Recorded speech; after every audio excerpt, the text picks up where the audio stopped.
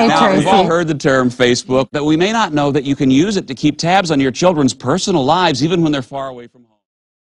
And you're going to love this. It's so easy. All you do is create a profile and search for your son or daughter's name and add them to your list of friends.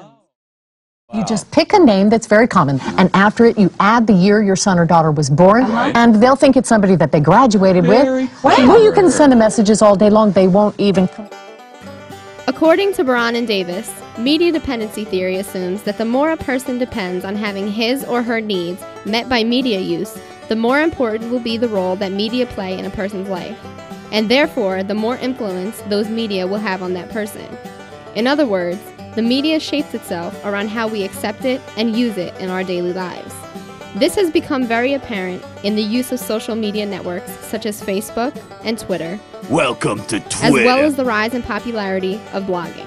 These programs are few of many which have grown and developed because of the way society accepts, uses, and in some cases needs them. iPhones, Blackberries, and other phones that offer applications Application. Downloadable software for a cell phone which brings some of the main communication and data processing options of a desktop PC to the traveler. Applications started for business use and are now widely used for hobbies and entertainment.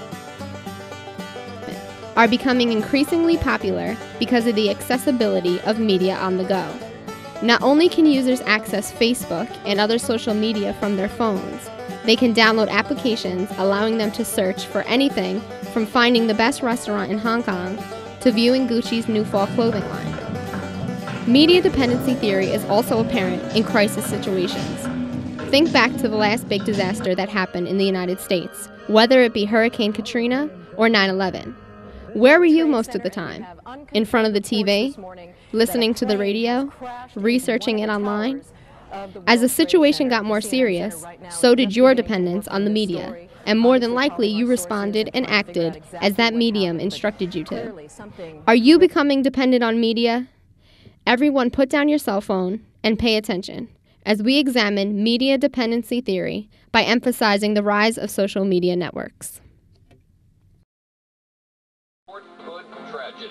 And we continue to follow the developing news. The suspected shooter is It's a day of mourning today and Fort It's difficult enough when we lose these brave Americans in battles overseas.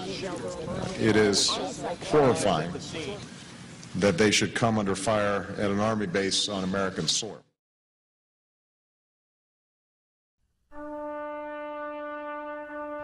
A crisis is defined as a condition of instability or danger, as in social, economic, political, or international affairs, leading to a decisive change. The massacre that occurred at Fort Hood on November 5th, described as the worst mass shooting in history at a U.S. military base, at about 1:30 p.m. on November 5th, Major Hassan Nidal Malik, an army psychiatrist, allegedly fired shots into the Soldiers Readiness Processing Center at Fort Hood, Texas. Soldiers in the center were processing for deployment to both Iraq and Afghanistan. The shooting resulted in 13 dead and 38 wounded. Army Live, the official blog of the United States Army, explained the Army's appreciation for the abundance of support they received during this tragedy. Just one day after the shooting, the Army blog posted the following The flood of support we have seen through our social networking channels has been incredible. Check out facebook.com forward slash US Army or twitter.com forward slash US Army and feel free to send your thoughts. Dependence on media systems increases as a crisis deepens. It's no surprise that Facebook and Twitter have become as vital to information sharing as the newspaper and the 5 o'clock news. The sites aren't solely used for sharing thoughts and prayers, but warning the public of dangers. These are just a few of the tweets that were posted to warn the public about the dangers at Fort Hood during the shootings and lockdown that followed. If you're off post right now, don't come to base. Multiple shootings, possible terror suspects, Fort Hood, Texas. And another, Fort Hood is locked down, 7 dead, 12 to 15 people wounded. They don't know who's doing it. Be safe, people. And finally, emergency sirens going off, halo evacs, lockdowns. There's not one person walking through the streets of Fort Hood.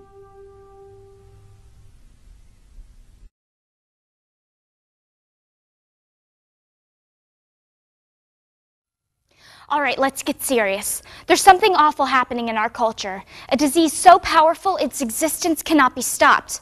I'm talking about drug addiction. Oh, hold on, let me get this. Hello? He did what? Hey, oh, can I call you back? I'm on set. All right. Where was I? Oh, drugs. Um, I have this whole thing planned out. Let's see. Addiction, downward spiral, rock bottom. Oh, picture mail. Stacy's dog is so crazy. he got into the trash and ate the zesty onion ring sauce. How did he even open that thing? Dogs don't have hands. You are crazy. Oh my god, there's a party at B-Dogs tonight. Totally forgot about it. I've got to call Jessica and see if we're still riding together. I'll just text her. Are you going to B-Dogs? So what's your score on Brick Breaker? I'm at 23,600. Beat that, losers. Oh, hold on. Hey, Jess. You want to pick me up? Okay. I don't know why she used to call me. She doesn't have a landscape keypad, I think. Get with the times, right?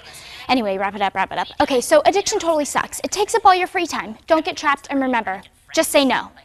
Hey, I'm done. Yeah. Everybody's all staring at me. Creepy.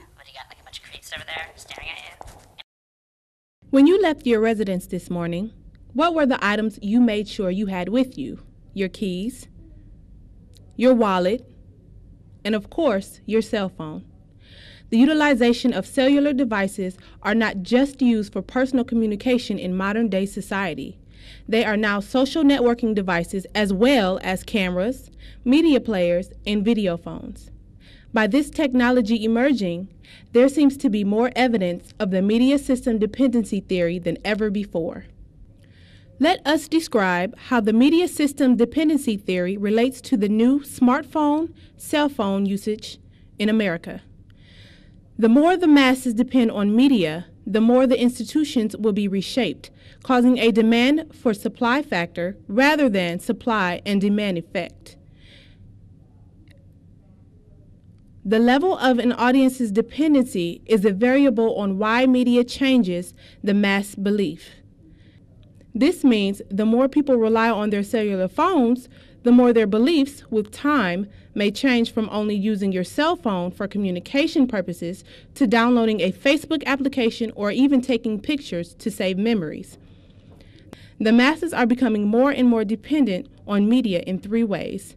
Number one is to act in a society. For example, voting demographics have severely changed since the era of cell phone use. Number two is to understand the world to gather news on the phone. And number three, to escape the world. For instance, using social networking tools such as Twitter or Facebook may help you escape the world we live in today. Lastly, the greater the need, the greater the likelihood media messages will be in effect on users. This means the busier you are, the more you are in need of your Blackberry, your iPhone, or your smartphone. I wouldn't call myself a social butterfly. And there's not much that separates me from the other guy. But when I log in, I begin to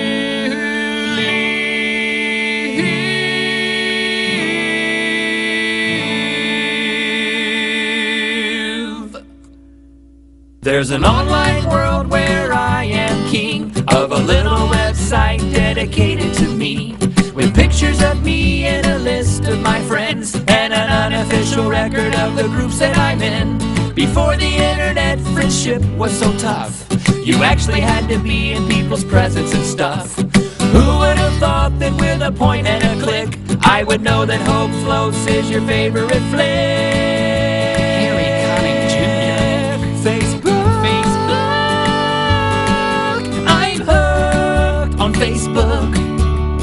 Used to meet girls hanging out at the mall, but now I just wait for them to write on my wall. If the internet crashed all across the land, or my Facebook account was deleted by the man, I carry around a picture of my face and a summary of me typed out on a page.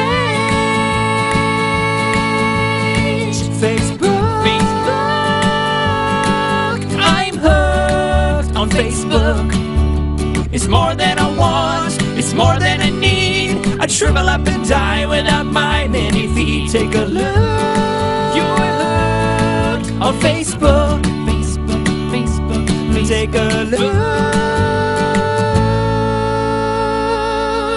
on Facebook, book, book, book, book.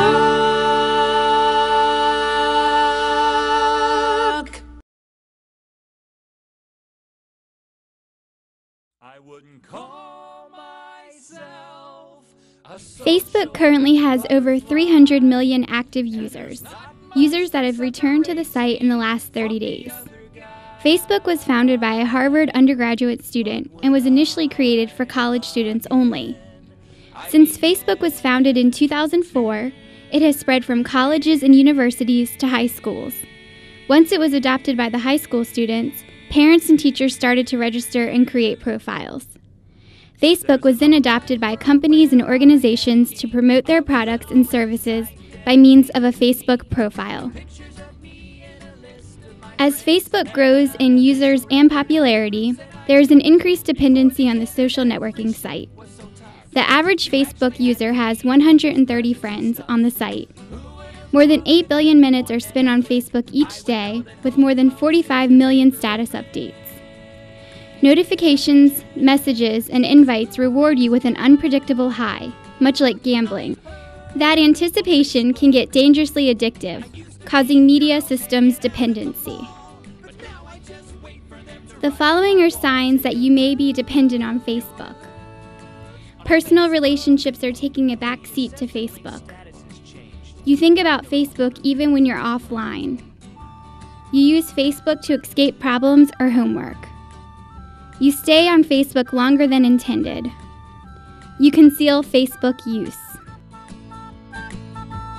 How do you know this person? Did you hook up with this person? Do you need to request confirmation? Or did you just think they looked cute in their picture on Facebook?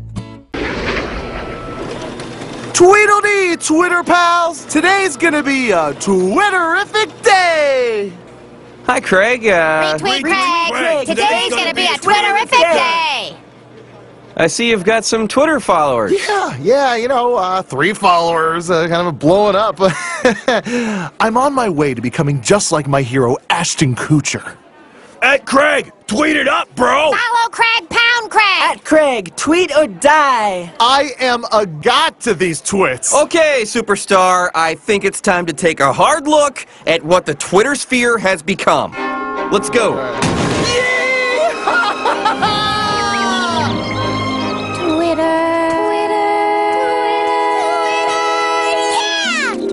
Yes, I love the smell of Twitters in the morning. Yeah, yeah, it smells like childish desperation mixed with Hollywood narcissism. Hey, everybody, follow Perez Hilton, please. I need attention. Come on, people. P. Twitty's telling you to log in and follow my tweets. Log in. Oh, I'm so locked in, Twitty. One million followers! I beat CNN! I'm more important than news! You're more important than anything, Ashton Kutcher! Twitter was developed in 2006 as a program for microblogging. Microblogging, form of multimedia blogging that allows users to send brief text or micromedia updates, or short bursts of inconsequential information. In September 2009, it was recorded that worldwide visitors of Twitter had reached 58.4 million, which translates to a 949% increase from a year ago.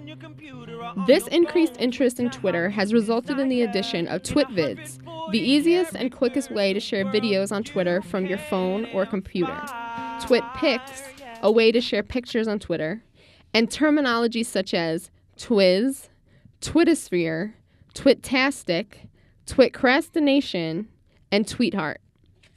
Society has become so dependent on Twitter, there is a worldwide panic every time it is overloaded, causing users to wait to post new tweets. Fail Whale! No! Oh, snap! Fonzie's coming. entertainment. Lock in, people. Lock in. Fonzie? What is this? What is he talking about? Holy. Oh no, it's the Twitter apocalypse!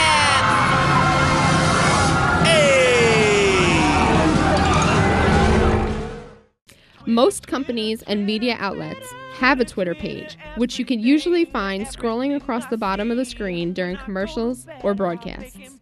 Because of their large following, Twitter has become an advertising phenomenon for businesses, celebrities, and even employers and job seekers.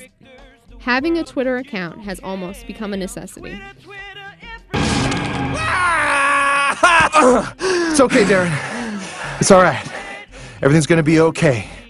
We'll sign you up for a Twitter account. Everyone follow Darren! Direct message at Darren. I still like pickles. At Darren, welcome to Twitter.